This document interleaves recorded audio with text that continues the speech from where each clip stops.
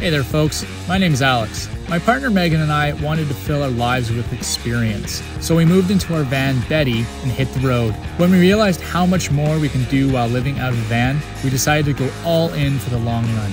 After six months of living in the van and traveling around, we've decided we want to completely rethink, redesign, upgrade, and improve our van. We're doing a full rebuild. This is the Alex Build Stuff Show. It's the show where I build stuff and I show you.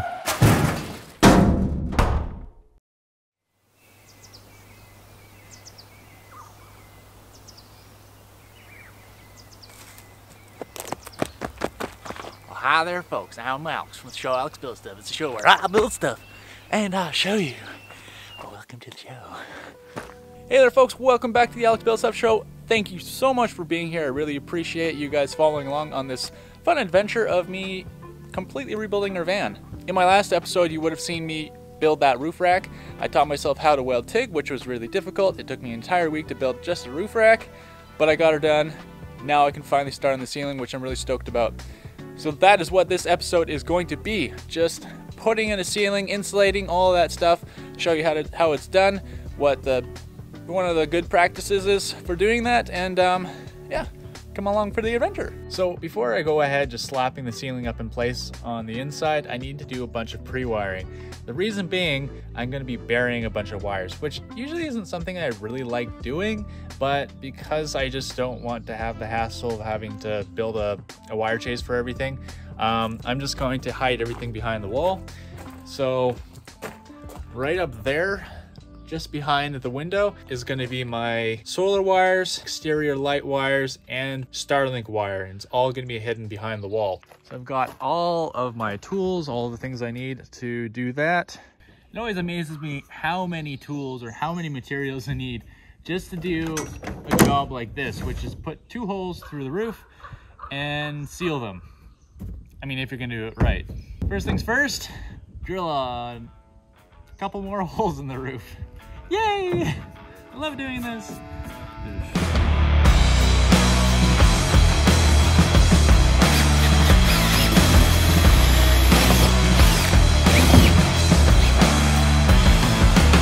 There we go, two holes. I just usually just drill one hole so that uh, both cables can fit down inside.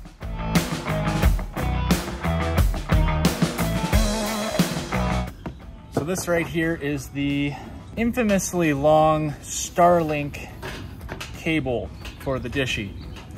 Although I understand why it's very long. We have been traveling around storing this insanely long cable for like five months. And because we are hard mounting uh, Starlink to our roof now, um, we don't need all of this. So, don't worry, it can be fixed.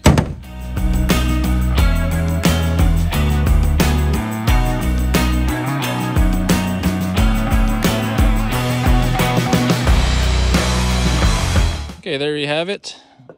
Those are sealed. Now I can get on to the interior. With the holes drilled in the ceiling, I can now tidy up all of these wires. I taped them to the wall. I got to actually anchor them to the wall now so that everything is a little bit tidier.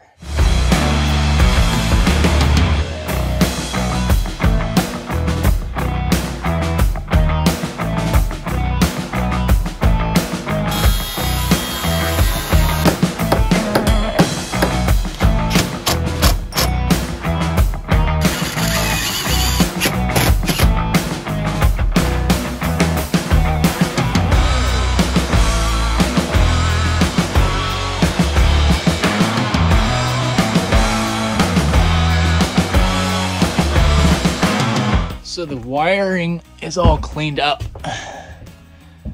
Got everything kind of in a place that it's secure and not going anywhere. I've got this big, huge wire chase right here that goes all the way down. It's nice and tucked away.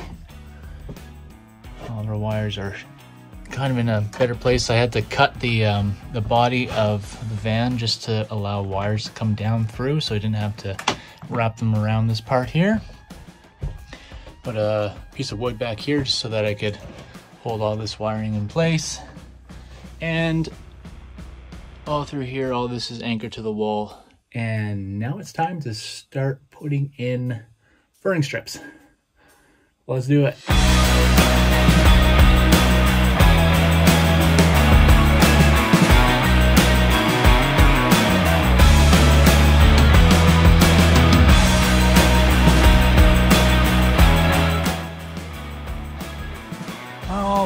Reflectix vapor barrier is in on the ceiling. We just have yet to do this front compartment, which I think we're both dreading. And um, yeah, for now, that's what we're gonna do. Uh, we don't have any more Reflectix, so we're just gonna put insulation over the rest of the high top.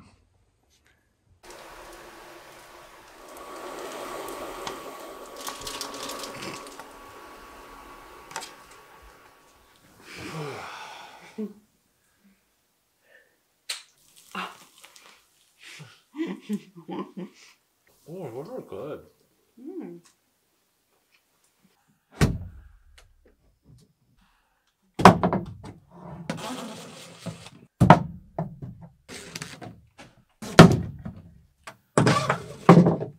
Okay, I've got to measure too. Ah! 48 inches.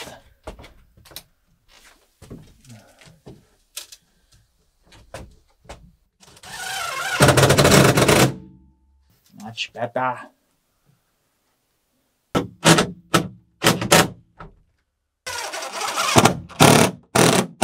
All right. It looks like the ribs are all done.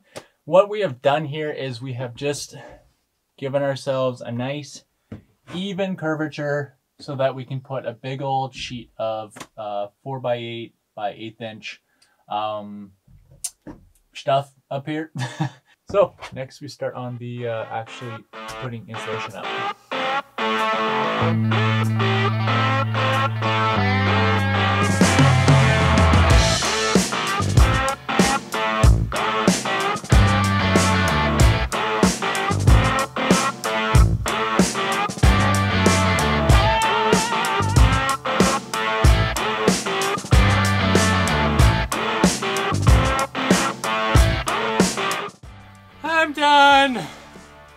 Well, I'm not done. I still got the, I still got the whole front end to do, but ugh, I do not like doing ceilings.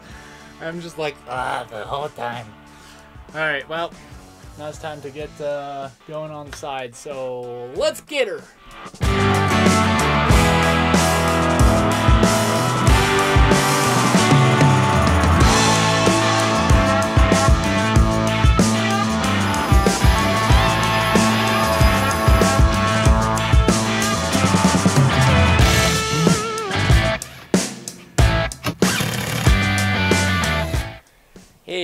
So got a lot done yesterday. Got the whole ceiling insulated, which is pretty great. See all the stuff on the floor? That's all that's left. And now we're just gonna put a whole bunch of wood on the ceiling, which is gonna be super duper. All right, let's get after it. Yeah.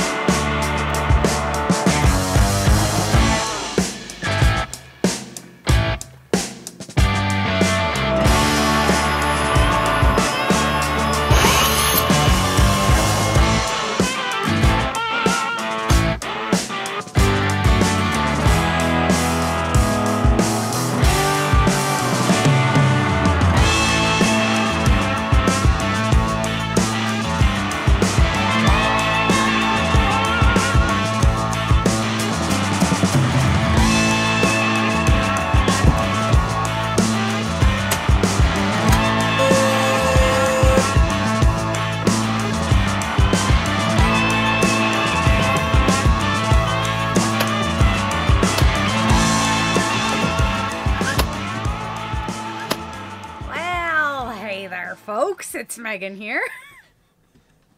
um, we are going on a hike on my only day off this week, and we are going to take you along. So, we're going to do a little Quadra Adventure Day. Hope you enjoy.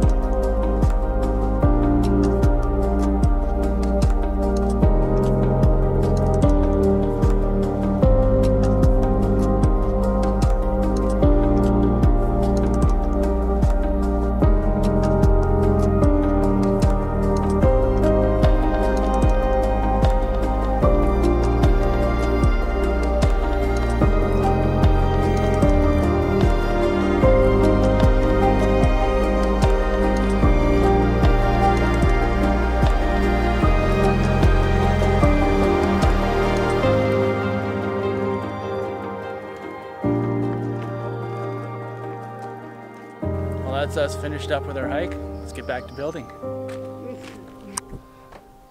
All right, folks, we're back. Let's get this ceiling done right quick. Yeah, yeah.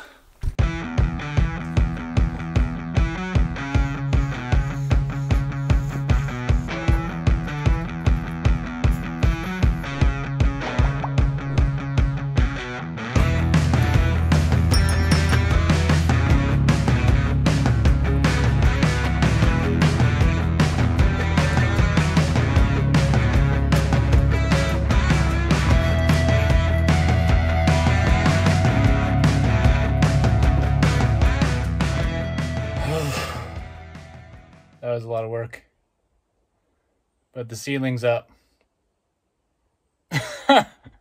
oh my gosh, that was so much work. All right, guys, we have one last thing to do before we finish this ceiling install, and that is installing roof vent. We finally got this in the mail. Let's get after it.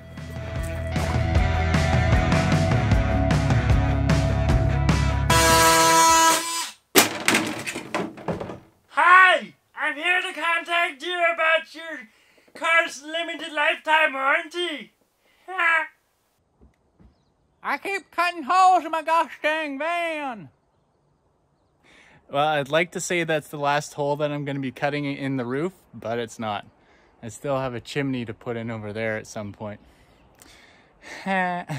So I'm going to do a few things. I'm going to fix this wire that I managed to cut through. I'm going to uh, wire this with connectors. And I'm also going to tape up um, these edges just to try and maintain that vapor barrier that I worked so hard to create.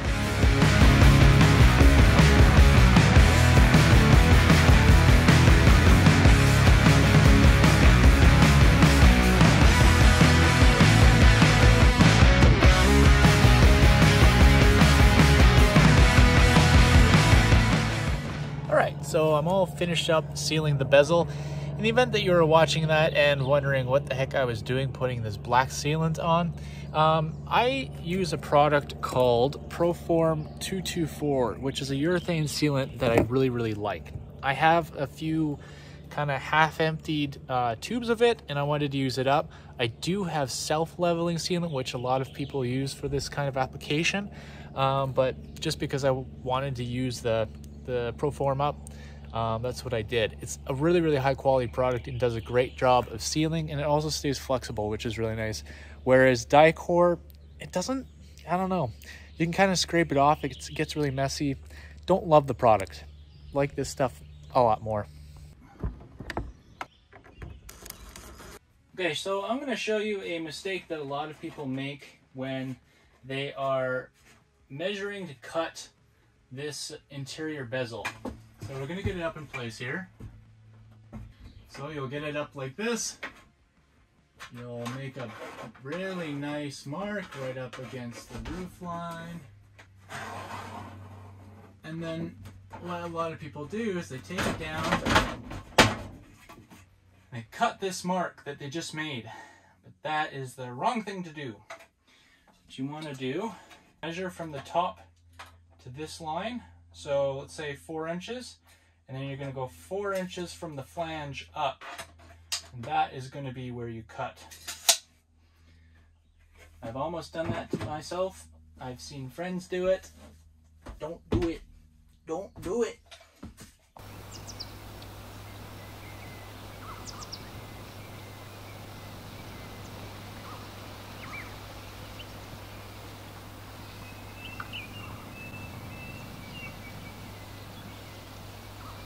Well, folks, I think we're pretty much finished for this video.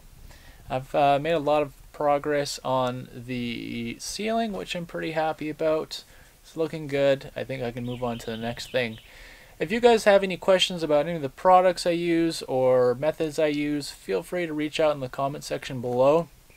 I do have an Amazon list of items that I am installing in Betty. And if you guys click on those links and purchase one of those items, we get a slight kickback. So if you want to support us, feel free to do that. And uh, yeah, I think that's pretty much it. Thank you so much for watching. I really appreciate you guys being here. And uh, until next time, remember to keep on roaming. Later.